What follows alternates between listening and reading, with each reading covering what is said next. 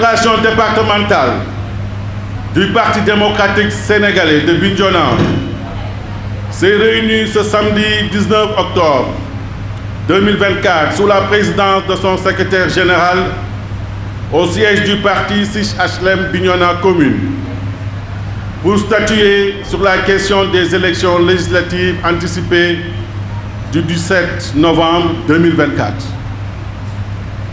Cette rencontre a enregistré la participation des militants, des sympathisants issus des 19 sections du département. L'ordre du jour s'est articulé autour des alliances ou coalitions entre formations politiques ainsi que la question relative aux investitures des candidats sur les listes électorales. À l'issue des débats, les décisions suivantes sont retenues.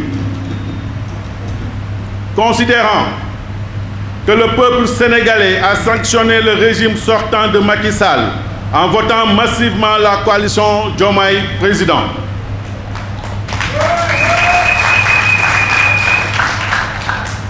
Que le PDS a contribué à la victoire du nouveau régime, conformément aux recommandations du secrétaire général, son Excellence Maître Abdoulaye Wade.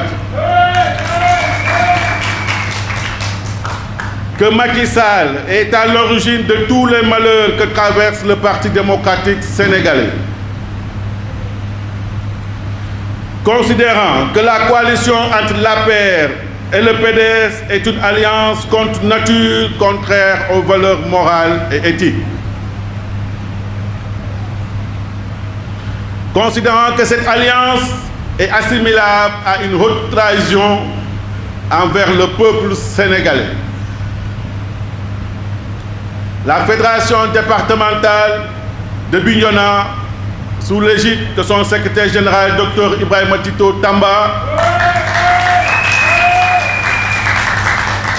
en présence des responsables militants et sympathisants de section, a décidé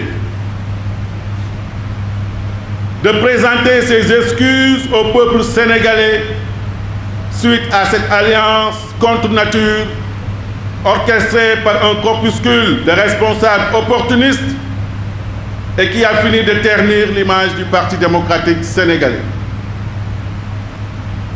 Nous avons aussi décidé de ne pas soutenir la liste Takou Sénégal de l'APR dirigée par Macky Sall.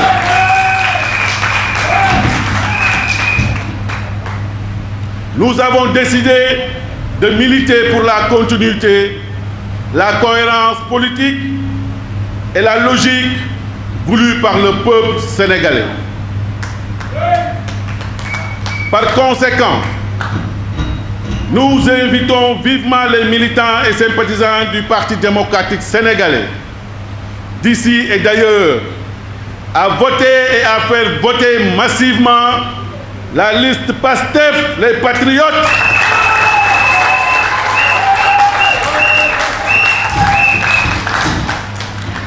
dirigée par M. Ousmane Sonko pour une large majorité absolue à l'Assemblée nationale au soir du 17 novembre 2024 afin d'enclencher le processus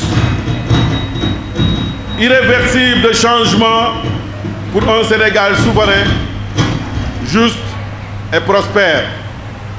Je vous remercie de votre aimable attention.